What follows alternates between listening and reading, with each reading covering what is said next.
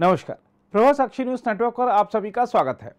उत्तराखंड में जल्द ही समान नागरिक संहिता लागू होने की संभावना को देखते हुए इसका विरोध तेज हो चला है, जहाँ एक और तमाम मौलवी मौलाना कह रहे हैं कि यह हिंदू स्टेट बनने की दिशा में बढ़ाया जा रहा कदम है।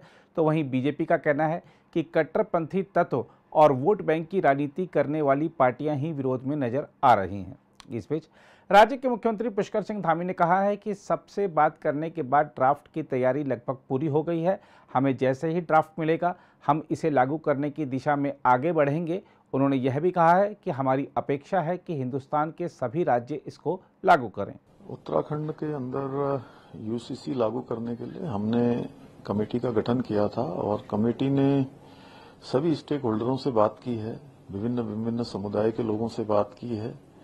सभी के बीच में जाके जनता के सुझाव भी लिए हैं। विधि विशेषज्ञों से भी बात करी है, स्टेक होल्डरों से भी बात करी है।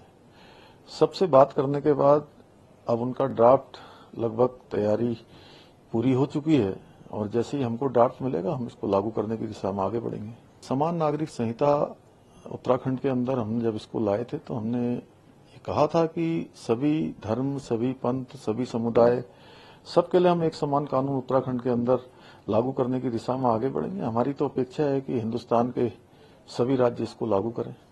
वहीं ऑल इंडिया मुस्लिम जमात के अध्यक्ष मौलाना शाहबुद्दीन ने कहा है कि यह हिंदू स्टेट बनने की ओर बढ़ाया जा रहा कदम है। तो दूसरी ओर मुस्लिम धार्मिक गुरु मौलाना खालिद रशीद फिरंगी महली ने भी समान नागरिक संहिता के मुद्दे पर उत्तराखंड सरकार की आलोचना की है।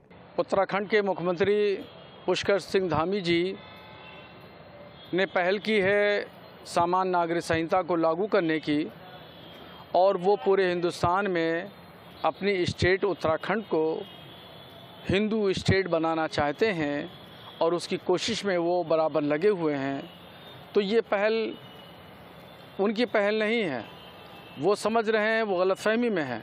इससे पहले सामान्य नागरिक संहिता गोवा में लागू हो चुका है और सालों से लागू है, मगर वहाँ के जो सियासतदान हैं, उन्होंने कभी इस तरीके से हिंदू स्टेट की बात नहीं की, जिस तरीके से पुष्कर सिंह धामी हिंदू स्टेट बनाने की बात कर रहे हैं। और ये उनकी गलतफहमी है। ला कमीशन ऑफ़ इंडिया ने जो सर्कुलर जारी किया है तो वो सर्कुलर में 30 दिन का टाइम दिया है कि 30 दिन में राय लोग अपनी अपनी दें।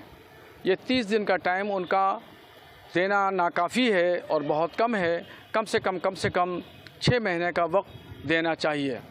और इससे पहले भी ला कमीशन ने सर्कुलर जारी किया था, आज से पाँच साल गुजशत तो वापस लेना पड़ा। उससे पहले भी सर्कुलर जारी किया था, वो भी वापस करना पड़ा। और धामी जी का भी, कि जो कमेटी है और इनका जो मसवदा है, वो भी एक न एक दिन बैकफुट पर आएगा और ये इन किसी सूरत पर लागू नहीं हो सकता है। और चूँकि संविधान ने जबरिया तौर पर यकसा सिविल कोड को नाफिज करने की बात नहीं कही है, एक मशवरा दिया है। आवाम की अगर मर्ज़ी है तो उस पर अमल किया जाएगा। और जहाँ तक महिलाओं की बात कर रहे हैं तो वो सरासर झूठ बोल रहे हैं। कोई भी महिला नहीं चाहती है कि यकसा सिविल कोड नाफिज हो, चूँकि उससे समाज का ताना बाना बिखर रहा है। और जो यहाँ पर हिंदुस्तान का जो कल्चर है, तहजीब है वो पारा पारा होकर रह जाएगी। आदिवासियों का अलग कल्चर है, दलितों का अलग है, मुसलमानों का, सिखों का अलग है। हिंदुओं भी अलग अलग तबक़ात हैं, उन तबक़ात में भी अलग अलग कल्चर है तो ये बिल्कुल ताना बाना समाज का बिखर कर रह जाएगा। ये कहना कि यदि सब ठीक रहा तो तो उत्तराखंड में यूनिफॉर्म सिविल कोड फला तारीख तक लागू कर दिया जाएगा तो आप सब जानते हैं कि वहाँ पे क्या हालात हैं और ऑलरेडी लॉ कमीशन के सामने ये मामला है तो तो विदाउट दी रिकमेंडेशन और final decision of law commission कोई स्टेट इसको कैसे लागू कर सकता है? बहरहाल ये अपने आप में बड़े कॉन्स्टिट्यूशनल सवाल हैं। लिहाजा ज़रूरत इस बात की है कि पहले जो आम शहरी से मुतल जो मसाइल हैं, उनको हल किया जाए और मुल्क को मज़ीद किसी एक बड़ी कंट्रोवर्सी में फिर से मुबतला ना किया जाए। और हर शहरी को पूरी आज़ादी के साथ अपने अपने मज़ाहिब पर अमल करने की आज़ादी को बरकरार रखा जाए और यही अपने मुल्क की की खूबसूरती है और यही अपने मुल्क के कॉन्स्टिट्यूशन की रूह और बुनियादी मकसद है। जनता की राय मांगी। नहीं यूनिफॉर्म सिविल कोड पर जो बाकी सिलसिले में जो बार बार आवाज़ें उठाई जा रही हैं और जो उत्तराखंड के सीएम साहब ने भी कहा है हम लोग ये समझते हैं कि ये इस मसले की कतई भी ज़रूरत अभी मुल्क को नहीं है। और आप सब जानते हैं कि मिज़ोरम से लेकर के उत्तराखंड तक जो मुल्क के हालात हैं, उसमें ज़रूरत इस बात की है कि जो आम शहरीों के मसाइल हैं उनको हल किया जाए और जगह जगह जो तशद के वाक़ात हो रहे हैं, उसको, उस पर काबू पाया जाए। और यूनिफॉर्म सिविल कोड के सिलसिले में सब लोग ये जानते हैं कि ऑलरेडी लॉ कमीशन ने इस सिलसिले में नोटिस जारी कर रखी है तो लॉ कमीशन के किसी भी फाइनल डिसीशन से पहले कोई स्टेट किस तरीके से अपने स्टेट में इसको लागू कर सकता है, ये भी एक बड़ा सवाल या निशान है।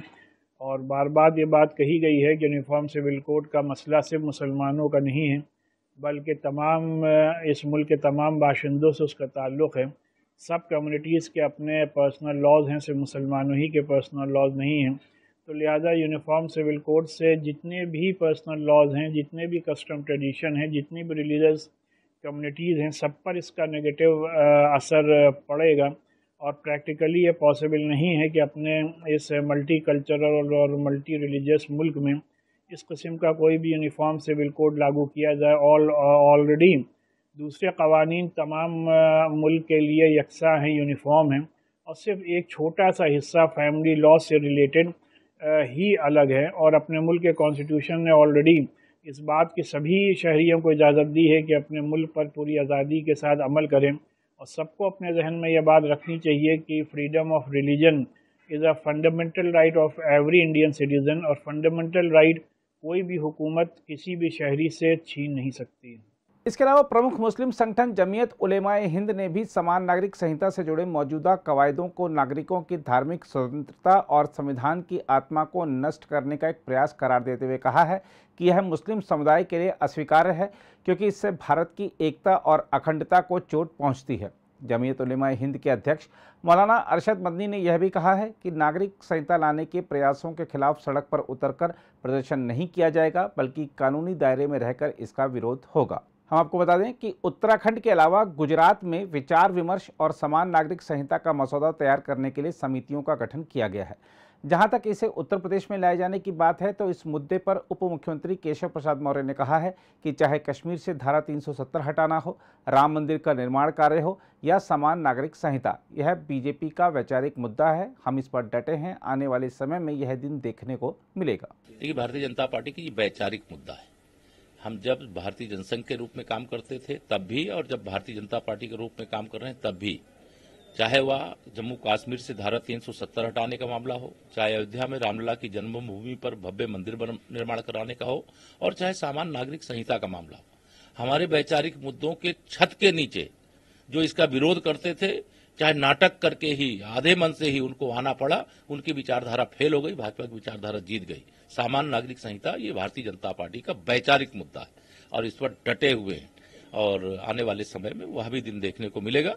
ऐसा मेरा भी विश्वास है देश का भी विश्वास। जहाँ तक राष्ट्रीय स्तर पर समान नागरिक संहिता लाए जाने की बात है तो हम आपको बता दें कि विधि आयोग ने हाल ही में कहा कि उसने राजनीतिक रूप से संवेदनशील मुद्दे, समान नागरिक संहिता पर लोगों तथा मान्यता प्राप्त धार्मिक संगठनों के सदस्यों सहित विभिन्न हितधारकों के विचार आमंत्रित कर नए सिरे से परामर्श की प्रक्रिया गत बुधवार को शुरू कर दी है। आयोग ने सभी संबंधित पक्षों को सुझाव भेजने के लिए एक महीने का समय भी दिया है। इससे पहले 21वें विधि आयोग ने समान नागरिक संहिता मुद्दे की पड़ताल की थी और समान नागरिक संहिता पर दो मौकों पर सभी हितधारकों के विचार मांगे थे। 21वें विधि आयोग का कार्यकाल अगस्त 2018 में समाप्त हो गया था। जहाँ तक इस मुद्दे पर राजनीतिक प्रतिक्रियाओं की बात है तो कांग्रेस का कहना है कि विधि आयोग द्वारा समान नागरिक संहिता को लेकर उठाया गया नया कदम यह दर्शाता है कि मोदी सरकार अपनी विफलताओं से ध्यान भटकाने और ध्रुवीकरण के अपने एजेंडे को वैधानिक रूप से जायज़ ठहराने के लिए व्याकुल है। वहीं बीजेपी ने पलटवार करते हुए कहा है कि उच्चतम न्यायालय सहित विभिन्न अदालतों ने समान नागरिक संहिता की वकालत की है। बीजेपी का कहना है कि समान नागरिक संहिता राज्य के नीति निर्देशक सिद्धांतों का हिस्सा है और यह कुछ ऐसा है जिसे हमारे संविधान निर्माताओं ने संविधान में शामिल करना महत्वपूर्ण समझा। बीजेपी का यह भी कहना है कि विधि आयोग एक स्वतंत्र निकाय है और उसने समान नागरिक संहिता पर सार्वजनिक विचार विमर्श के लिए भी इस दिशा में कदम उठाया है। अगर आप भी लेना चाहते हैं देश दुनिया की तमाम जानकारी तो आज ही सब्सक्राइब करें हमारे चैनल को। साथ ही नीचे दिए बेल आइकन को ज़रूर दबाएँ ताकि हर अपडेट आप तक पहुँच सके।